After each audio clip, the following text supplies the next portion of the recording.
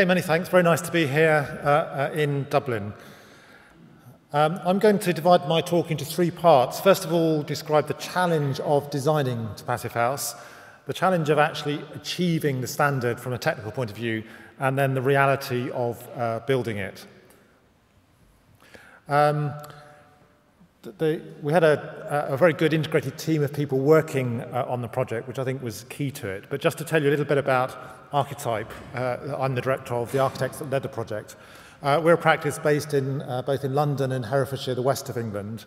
Uh, I've uh, been practicing uh, since 1984, and throughout that time, sustainability has been uh, one of our key driving uh, forces. And our focus has always been on designing buildings to save energy rather than relying on all the technological uh, sort of add-ons uh, to offset. And so for us, Passive House was a natural step uh, in the direction that we were already travelling and, and gave us sort of uh, a quality assurance discipline to, uh, to, to deliver and achieve that. So first of all, uh, the challenge uh, of design. I'm just going to divide that into two sections, both uh, design issues and educational issues in terms of uh, designing a school. Because for us, if we were going to take uh, our clients uh, and our buildings onto Passive House, we felt passionately that this uh, should not just be a worthy exercise in saving energy and ending up with, an, with a, a, a dreary building. It, the building had to be of high quality design, just the same as any other building, and it had to meet the educational aspirations uh, of the local authority and the school. If we didn't deliver that, then they wouldn't care if it was Passive House. Uh, it has to achieve those things as well. So first of all, from a design uh, point of view, um, uh, Archetype has got five sort of key themes to its uh, sort of design philosophy, uh, which underpin everything we do. First of all, we design through an engagingly collaborative process. We believe that we should work with our clients, with the children, with the teachers, in order to engage them in a design process so that the end result is a building which reflects their ideas, their aspirations, their practical needs, and that they feel part of. And I think this is really important, particularly with sustainable design, that they're taken on a journey of understanding the project. We then believe that buildings should be designed to be elegantly simple. I think architects and engineers love complexity. We like making things more complicated in many ways because it's much harder to make them simple. But when you do make them simple, you can actually get more value out of uh, budgets and actually achieve more in terms of sustainability because you're focusing money and effort on the things that really make a difference. We also want our buildings to be radically ecological, um, not just uh, reducing energy by little bits, not just by having one or two bits of nice materials, but fundamentally every aspect of the design and construction should be informed and driven by passion for coming up with uh, radical solutions. We also feel that buildings should be uplifting and enriching. They should be, I mean, this is a great space to be in there. You feel good when you come into a good building. And we think every building, however modest, should lift the spirit. And we also feel that buildings should be uh, robust and timeless, that don't go out of fashion. I think fashion is great with clothes because clothes wear out quickly. But fashion in architecture uh, uh, uh you know, can mean that within a few years we think a building looks out of date and uh, whatever. What we want are buildings that are long-lasting buildings like this one This is actually our own office, a converted barn in Herefordshire, that hopefully will feel as relevant in 50, 100 years' time as it does five years after we moved in. And then from an educational point of view, um, this was a, a project that predated the Passive Schools. It was the first BREEAM Excellent primary school in Britain. Um, and it was very much a project that grew out of uh, this very engaged collaborative process uh, uh, that uh, led to creating spaces, learning spaces, classrooms and other shared teaching spaces uh, that were full of natural materials, full of daylight, good acoustics, uh, calm atmosphere, uh, good materials, good natural materials, so that the things that the children touch and feel and relate to uh, all add uh, a sense of quality and value to them. Uh, and this is just uh, uh, the, the main central shared hub space where they can have all sorts of different activities, of which the classroom's open, full of natural light, uh, created using natural materials, uh, and has become the real sort of social heart uh, to the school. But those ideas very much came out of the educational philosophy of the school. And so in moving on to the Passive schools, we wanted to make sure that the same thing happened, that they delivered the educational philosophy of, of the school. So we had two projects uh, running in parallel, two primary schools uh, for children aged uh, for uh, plus a nursery from children aged 3 up to 11. One of them was a two-form entry school, uh, 450 children, the other a one-form entry uh, school. Uh, we had quite a tight time scale. We were appointed in December 2009. We had to get to planning submission following April at tender, contractor appointed by June, uh, starting on site by September, finished uh, just over a year later uh, and occupied October 2011. And then we finally received certification in January 2012. So quite a relentless uh, program uh, in terms of doing something uh, innovative. So why were these schools done to Passive House at all? Well, primarily because Archetype promoted the idea to the client. We'd worked with them on the BREEAM Excellent Primary School uh, and a number of other sustainable projects. And we said to them, okay, now we're doing these two schools, we think we should move on to Passive House and that it, this would be beneficial to you. We felt that it was a more sensible approach to uh, that, than BRIAM, which we feel has become uh, a very bureaucratic tick box exercise, which doesn't, whilst it's trying to do lots of good things, it's not always delivering the best uh, value in terms of sustainable result. We felt that it was a more robust way to reduce carbon emissions than simply relying on renewables to offset, uh, as seems to be very common in the UK at the moment. Uh, we, I believe that it's much better to reduce carbon by using less energy. Than offsetting. Uh, I always say it's uh, the same as rubbish. It's good to recycle rubbish, but it's much better not to create rubbish in the first place. So too with energy. It's good to have renewable energy, but it's much better just to use less. Uh, we also uh, said to the client that it would achieve radically reduced running costs in terms of energy for the schools, uh, and that because Passive House is not just about energy, it's about internal comfort, it would create much better internal environments uh, for the children and the staff. We also then responded to the client's challenge that that all sounds great, uh, we like that, but you must achieve it at no extra cost. We've got a standard budget uh, and it must also have no impact on the program. So that was the challenge that they set us. So, can you do passive house at no extra cost? Everybody that we uh, talk to at the conferences, etc., etc., always said passive house costs 5 to 10% more at least. But the question we asked ourselves is how much does construction really cost? Uh, so I want to introduce you to the Jono, that's me, Jono, rule of cost estimating, which is if you think it will cost more, it will. Um, and the price is a matter of priority. And when you think about it, all sorts of things in buildings have an impact on cost, uh, and all sorts of decisions that we make uh, have an impact on cost. Uh, and if you set out thinking something's going to cost more, then you'll spend the budget, and it will cost more. If you set out with a discipline, it must be done at the same price, then you focus everything on doing that. Uh, and, uh, and that's where the whole idea about simplicity uh, uh and focus uh, on, on that simplicity helps to drive uh, the, the result. I'm involved in lots of design review panels in Wales, uh, and I, I so frustrated. I so often get projects being presented to the panel where the architect says, I haven't got enough budget to make this building more sustainable. And I look at it and I, and I say to them, well, that building is incredibly complicated. You've got a complicated plan, complicated section, you've got bits of structure flying out through everywhere, you've got five or six different cladding materials on one elevation. You've chosen to spend budget on complexity. You can't tell me you couldn't have chosen to spend that money on better sustainability. And that's what I feel is that we should, price is just a matter of priority. Some, some people spend more on a flashy German kitchen than somebody else spends on a whole house. It's just priorities. Obviously, there are things that cost more. you've got more insulation, you've got more high performance windows, you've got to achieve better air tightness, you've got to have heat recovery ventilation. There are things, some things which save money. You've got a smaller heating system. Uh, you don't need underfloor heating. You don't want underfloor heating. You can have simpler controls. You don't have to have renewables to meet energy uh, carbon targets. And there are other things which don't cost anything. Uh, uh, if we've designed uh, a, a building that just gets rid of thermal bridging in its detailing, it doesn't cost builders to build it anymore to build it. Um, so some things cost more, some things cost less, some things don't cost any different. So overall, uh, our hope when we set out was that we could do this at no extra construction cost. Now to do that, uh, I'll emphasize again simplicity. Um, the simplest way to achieve simplicity is through thoughtful reduction. What can we take out to make things work better? Making the simple complicated is commonplace. Making the complicated simple, that's creativity great uh, jazz uh, musician Charlie Mingus. I think he sums it up really, really well there. And the other thing which I think is critical is evidence. I think the whole building industry uh, moves from one project to the next without ever learning the uh, lessons from the evidence of what's working, what's not working. Uh, and Archetype, we've done a, uh, been involved in a two-year research project in partnership with Oxford Brookes University to actually monitor in great detail the performance of about a dozen of our buildings and then learn from that so that we can feed those lessons back into practice.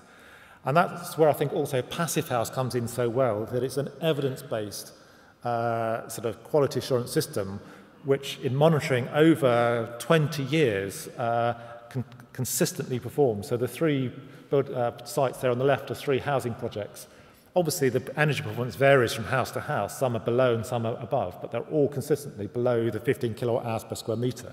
Whereas another claimed to be low energy scheme, the average was up at nearly 70. Uh, and that's why we like passive house, because it gives a rigorous discipline to actually enable you to design and build to actually deliver to a target, not just make a vague claim and then fail to deliver to that vague claim. So, from a design point of view, I'm just going to show you a few photograph, drawings photographs of the schools and then move on so you get a flavour for the design approach. Then I'll move on to actually talk about the technical challenges. Um, uh, so this is Oak Meadow, uh, this is the site plan, um, and you can see that we've located the building on a very exact north-south orientation so that we can control the solar gain and so, solar heating and get good daylighting. Uh, moving into the plan, you can see that it's a fairly uh, simple rectilinear plan, uh, both on the ground and the first floor.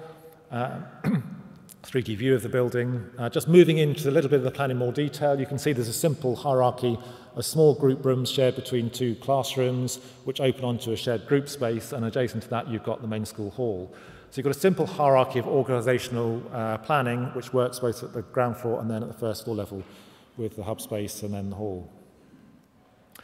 Uh, in terms of the section of the building, it's basically designed as a fairly simple extruded section which runs along uh, the majority of the building, getting uh, a good open aspect to the south and good daylight into the heart of the building just by lifting up part of the roof.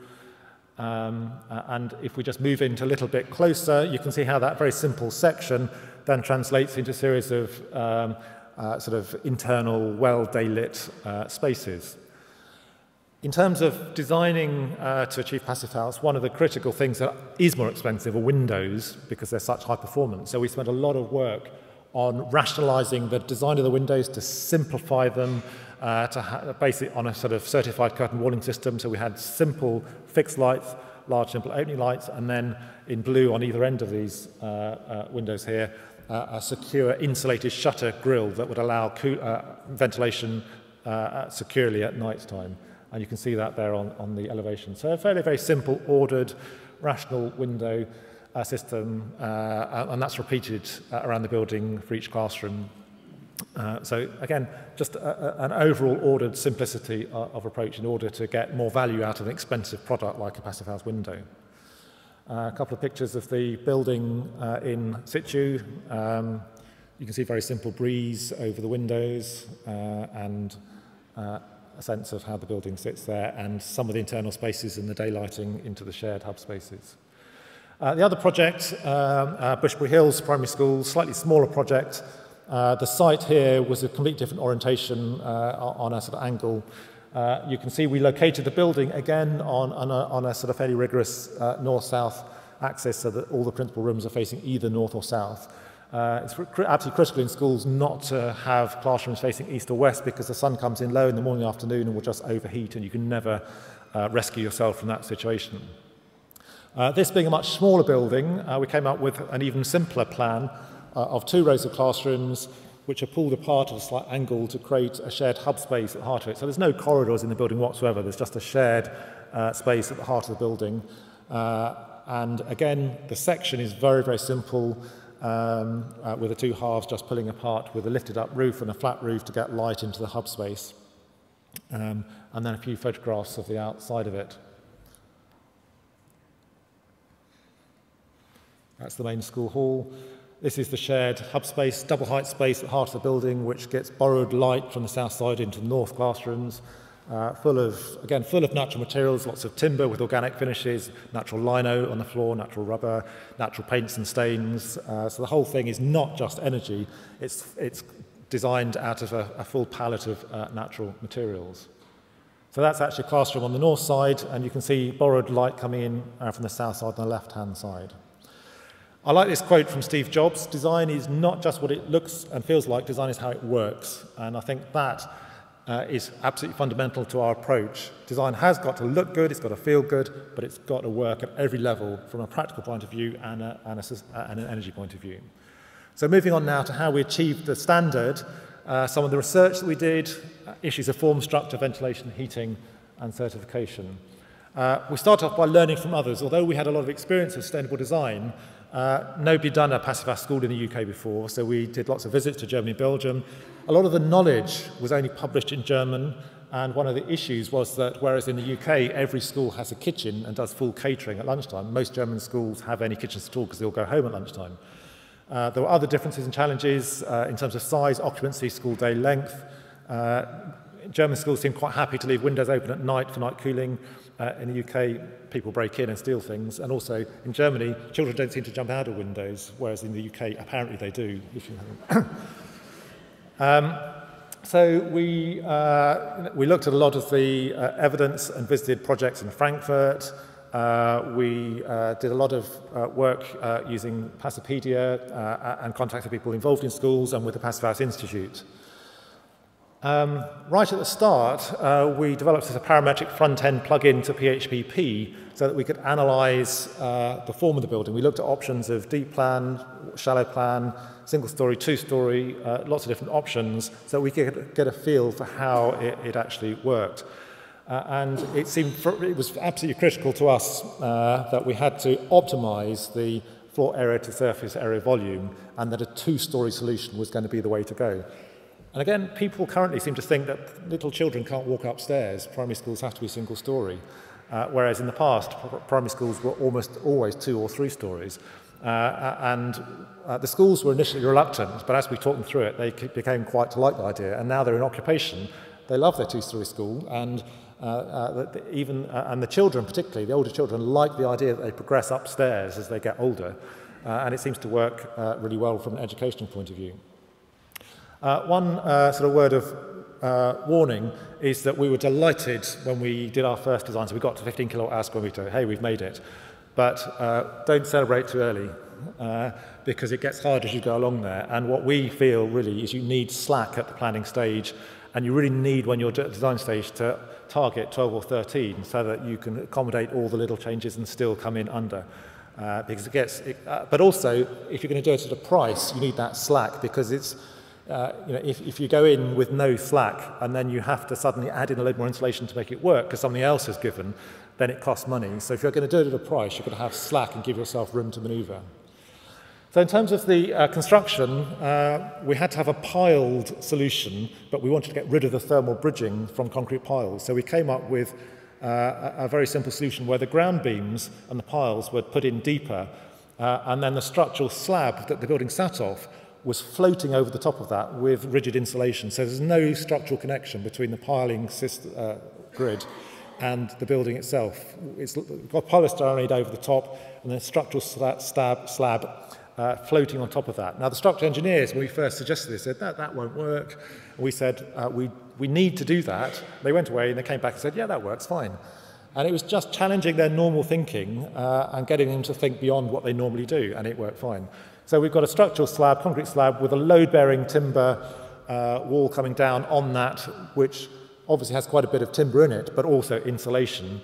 And then on the outside of, uh, we've got our air tightness layer, obviously on the inside, and then on the outside of that, we've got the insulation coming under the slab, up the slab, and then on the outside of the load-bearing timber wall, we've got a, an outer lightweight layer framed with uh, I-beams to create uh, what we're calling a duvet layer, a wrap of insulation. So we've got effectively continuous insulation coming all the way around from under the slab up the building.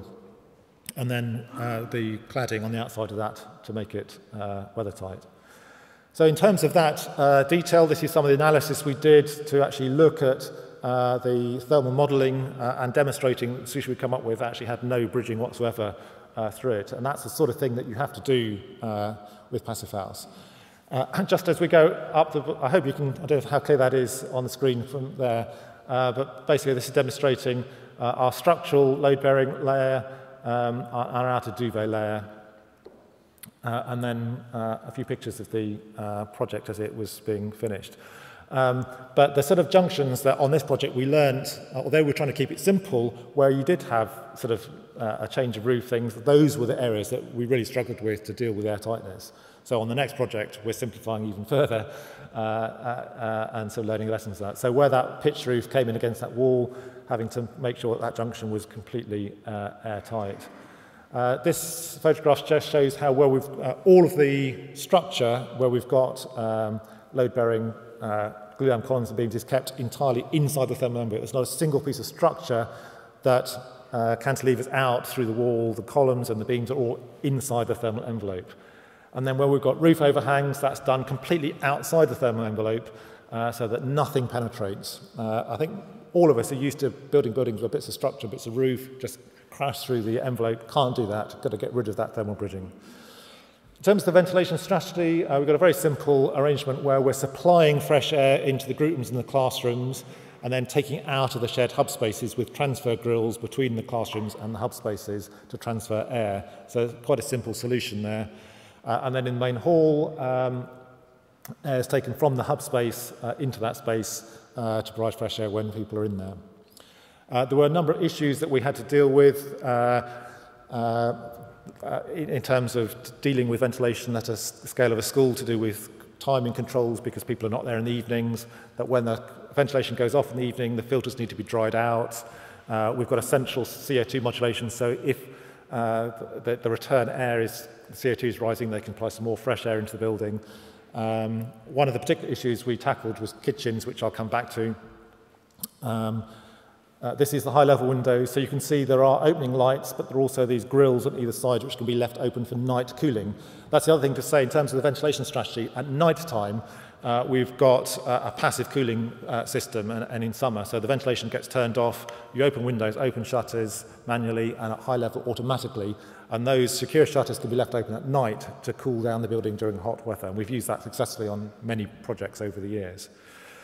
One of the particular issues we needed to tackle was kitchens. Um, most catering kitchens are gas cooking, and with gas cooking you get the need for a lot of ventilation, uh, and with that ventilation, because you've got fumes and you've got heat, uh, you're taking out a huge amount of energy, and then you're having to preheat the air coming in, otherwise people will be cold. So takes a huge amount of energy. So we set out to tackle that and to persuade the caterers that they should move from gas to electric induction cooking, which they were very reluctant to do because it's a new, you know, new way of cooking.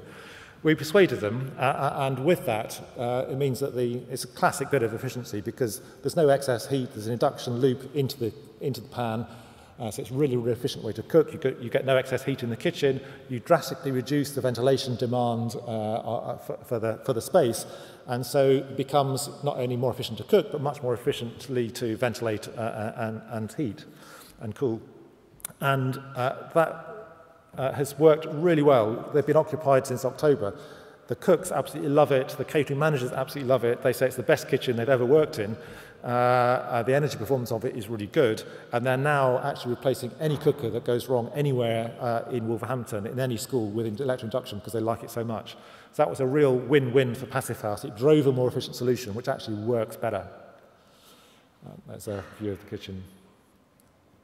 Uh, in terms of heating, alongside the ventilation, we've got um, a, a simple uh, strategy of radiators to give top-up heating with a thermostatic radiator valve, so really low-tech uh, solution. Um, and two domestic-sized gas boilers powering the whole building. In fact, one is enough to power it, and the other is there for backup. Um, uh, and people cannot believe it when they go into a 2,500 square metre school and find a boiler the same size as in their house. It really does uh, shock people. It even shocked the, our M&E engineers who we'd worked with for many, many years. They almost didn't believe that it would work. Uh, and they certainly didn't believe that one radiator in each classroom would be enough. So they put in two radiators in each classroom. Uh, uh and now the building's occupied through the winter. And we've walked around the building many times with people and with our M&E engineers. And not a single radiator is on to the extent that people are now using their radiators as display boards and blue tacking displays to the radiators. Uh, they're actually saying, actually, we, we realize now we don't need uh, uh, two radiators. We need, just need one small radiator in each room. Uh, just to give top-up heating before the children arrive in the morning. As soon as children are there, their own heat and occupation and the ventilation system provides everything that they need. Um, we also gave a lot of site support, uh, specialist workshops, regular vi visits, uh, uh, air tightness inspections. Uh, we did a huge amount of uh, sort of extra inspections not in an aggressive way, but actually uh, everyone working together, and I think that was absolutely uh, critical. Uh, and then certification, um, uh, what we learned through certification is it's the unbelievably rigorous uh, process. Uh, it puts lead and Briam into, into you know, uh, you know, aside really because, uh, but it's rigorous on all the things that matter.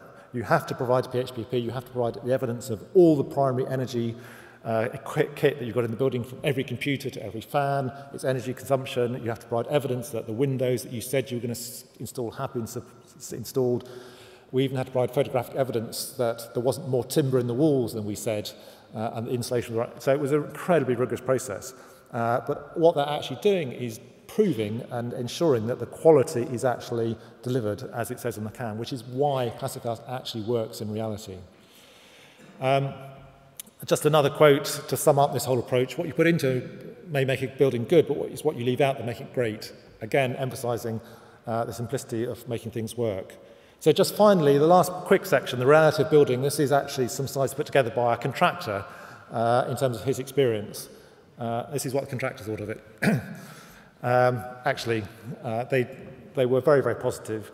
Uh, they found it quite a challenge. They uh, started off by um, us running a workshop. They then took the effort to go with their contract manager and their site agents to Germany to visit Passive House projects. Uh, and they were told there, for your first Passive House, start with a small house. Uh, and they obviously started with two large schools, uh, but that's just how it went. They reprogrammed the work uh, uh, in a different order uh, in order that they could do air tightness tests at the right time before they started doing second fix. Um, They put a lot of effort into thermal imaging and uh, air tests in stages so that they could make sure they were achieving the quality.